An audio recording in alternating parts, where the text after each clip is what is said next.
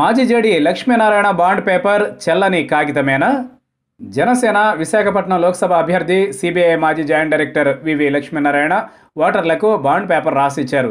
తాను ప్రజలకు ఇచ్చిన హామీలను ఖచ్చితంగా అమలు చేస్తానని చెబుతూ ఆ బాండ్ పేపర్ రాసిచ్చారు. దాంతో ఆయన ఒక్కసారిగా ఉన్నత స్థాయిని ఆక్రమించారు. రాజకీయ నేతల్లో ఒక మెట్టు పైన ఉన్నట్లు ప్రశంసల జల్లు కురిసింది. వివి లక్ష్మీనారాయణ రాసిచ్చిన బాండ్ పేపర్ చెల్లదనే మాట వినిపిస్తోంది. అందుకు తగిన కారణాలను న్యాయ నిపుణులు చెబుతున్నారు. ఒక ఉన్నతమైన పదవిని నిర్వహించిన లక్ష్మీనారాయణకు ఆ విషయం తెలియదా అనే సందేహాలు వ్యక్తమవుతున్నాయి. వంద రూపాయలు విలువ చేసే స్టాంప్ పేపర్ మీద సంతకం చేసి ఆయన బాండ్ పేపర్ ఇచ్చారు. అందులో ఆయన అద్దె ఇంటి చిరునామా తప్ప మరేం లేదు. ఆధార్ కార్డు నెంబర్ కానీ ఫోన్ నెంబర్ కానీ లేదు. తాను పోటీ చేస్తున్న జనసేన పార్టీ ప్రస్తావన కూడా లేదు. ఇది ఆయన తెలిసి చేశారా తెలియక చేశారా అనే ప్రశ్న ఉత్పన్నమవుతోంది. న్యాయ నిపుణులు చెప్పిన వివరాల ప్రకారం లక్ష్మీనారాయణ రాసిచ్చిన బాండ్ పేపర్ చలదు. స్టాంప్ పేపర్ మీద రాసిస్తానని ప్రజలకు ఇవ్వజూపడం భారతీయ కాంట్రాక్ట్ చట్టం ప్రకారం ఒప్పందం కాదు. అంతేకాకుండా పూర్తి కొత్త వారితో ఒప్పందం కుదుర్చుకోవడం కుదరదు.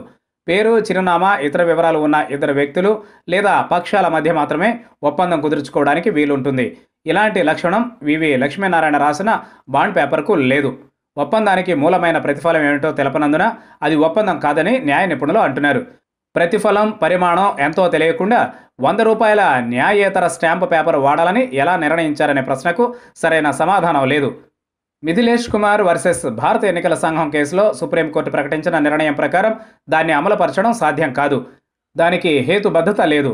ఎన్నికల ప్రణాళికలను అమలు చేయాలని ఏ పార్టీ పైన కూడా ఒత్తిడి తేలేమని ఓ కేసులో ఇదివరకు సుప్రీంకోర్టు తీర్పు చెప్పింది. మిథిలేష్ కుమార్ పాండేకు భారత ఎన్నికల సంఘానికి మధ్య జరిగిన కేసులో సుప్రీంకోర్టు తీర్పు ఇలా ఉంది. ప్రజా ప్రాతినిధ్య చట్టం ప్రకారం ఎన్నికల ప్రణాళికలో చేర్చే హామీల విషయంలో రాజకీయ పార్టీలకు ఉన్న అధికారాన్ని అదుపు చేయలేమని సుప్రీంకోర్టు స్పష్టం చేసింది.